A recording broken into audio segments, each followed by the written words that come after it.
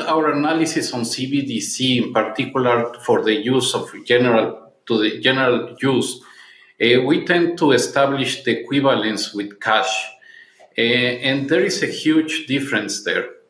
Uh, for example, in cash, we don't know, for example, who's using a $100 bill today. We don't know who is using a 1,000 peso bill today.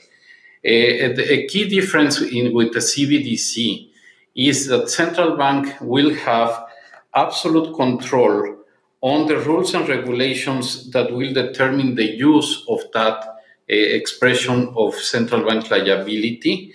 And also, we will have the technology to enforce that. Those are those two issues are extremely important, and that makes a huge difference with respect to what to what cash is. Uh,